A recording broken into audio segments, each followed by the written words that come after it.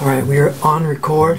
Hey guys, welcome to another video. Today, I'm going to show you how you can use the...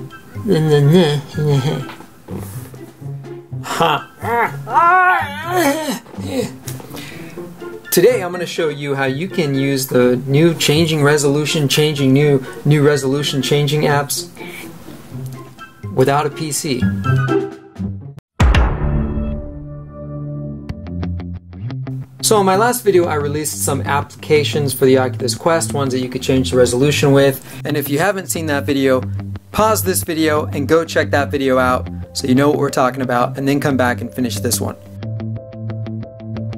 And do a few other things with, but you needed a PC in order to set ADB into TCP mode, TCP IP mode.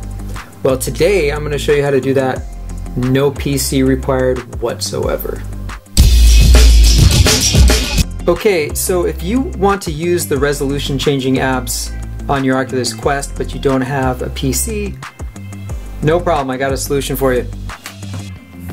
All you need is an Android device and a USB cable. Now, the USB cable I got with the Oculus Quest doesn't seem to work. Didn't work for me. I tried it on a couple of different devices. It didn't work. Um, so what I did is I have um, one of these I'll put a link in the video description to one of them. They're usually called OTG cables. Um, it's an adapter cable. Like uh, my phone here has a USB-C port, and so one end is USB-C and the other end, I think this is USB USB-B. And see, this is um, micro USB. So like I tried it on a tablet. This is tablet's probably like five years old. It worked fine. So um, of course you also need the cable Oh, here it is.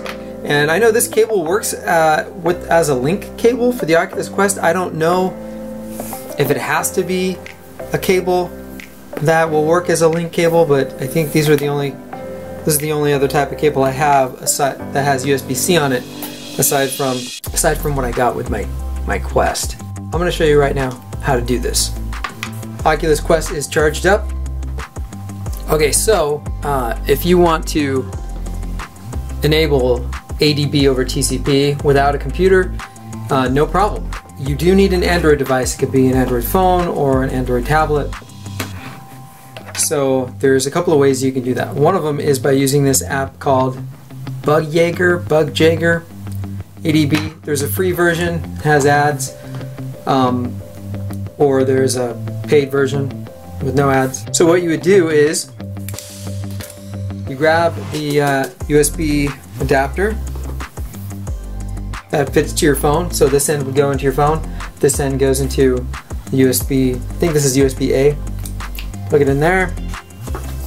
Plug this end into your phone. Plug this end into the Quest. This actually also works on the Oculus Go.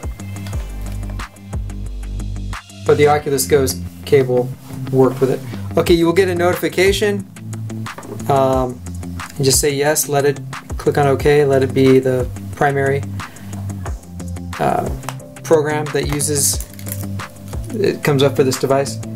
Now, let's see, now it automatically connected, just says null, null, let's see, list devices.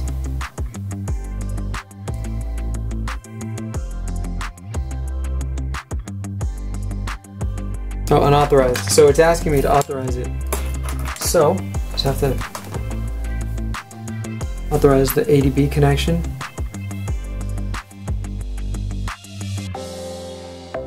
And always allow from this computer and then click on OK.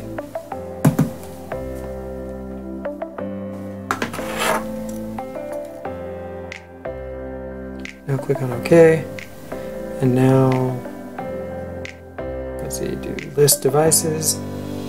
There we go. VR Monterey at Quest at Monterey. Okay, so now, once it's connected and you've authorized it, just go to connect through Wi-Fi. But actually, yeah, connect through Wi-Fi. And okay. Device connected, no serial. Okay, now up here it shows the IP address, Monterey. Go ahead and disconnect the cable. And let's see, it's, it's probably still connected. Well, it's not showing that it's connected. We want it to be disconnected because we want to use that port. And if it's still connected on your device, uh, the port can't be used. So just go up to the corner here and select Restart ADB Server. And now you're good. Your Oculus Go or your Oculus Quest, you can run those resolution apps and you don't need a PC anymore and you can reboot your Quest, just connect it back to your Android device to turn ADB over TCP back on. There is another way you can do this as well.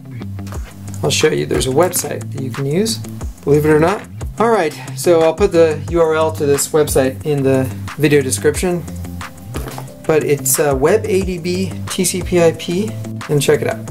So, you plug the cable into your phone, then you plug it into your Quest, because usually that's how it works to make the Quest uh, the device that's being charged. Because the device that's doing the charging is the host. You, you, your phone or your tablet has to be the host in order for this to work. Okay, and then just scroll to uh, down where it shows connect, click on connect. This pops up, click on select your quest, click on connect. Now you will have to click on OK again, authorize it in the headset.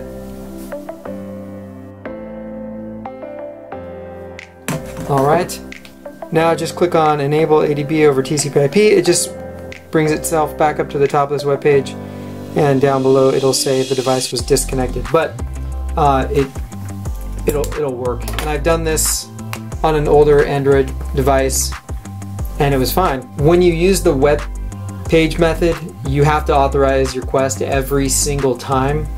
So I don't like doing that. So I just use the Bug Jaeger, Bug Jaeger, whatever. I use that method. Now for me, right before I showed you me using the web page, I had to uninstall Bug Jaeger because they fight over the USB so um, I wouldn't recommend doing both. I would recommend one or the other. That's it. There you go. You can use these applications without a PC. Now, as long as you have an Android device, I don't know if, I don't think there's anything like this for iOS devices. Alright, so for now that's it. I got a couple of big projects I'm working on. Sometimes you never see any results because sometimes I spend hours and hours trying to get something working and ends up not working. So then, yeah, I have nothing to show for it. But anyways, um, I hope you guys like this, and I will catch you guys later. Thanks.